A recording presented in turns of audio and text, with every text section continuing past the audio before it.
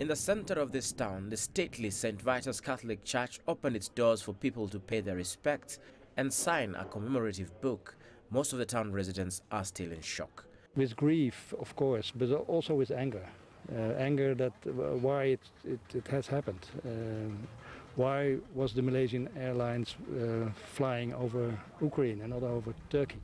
Then it do, doesn't happen anyway.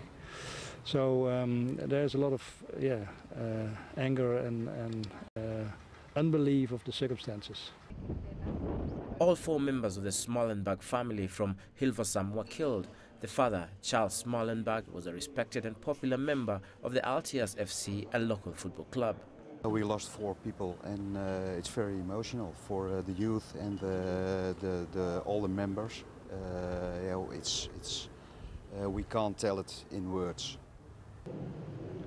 Elsewhere in the town, teachers, staff members and students also met privately at the Comenius College, a high school in town attended by two students killed in a crash. Our daughter has uh, finished uh, the school this year and um, in a way she knew the two boys uh, who are uh, killed in the accident. So, and we were still not on vacation, so uh, we said we have to go today. And she wanted, and she had write a beautiful piece for both of them and uh, sent them some flowers. The Malaysia Airlines listed the nationalities on board with the majority being Dutch. Robert Soy, CCTV.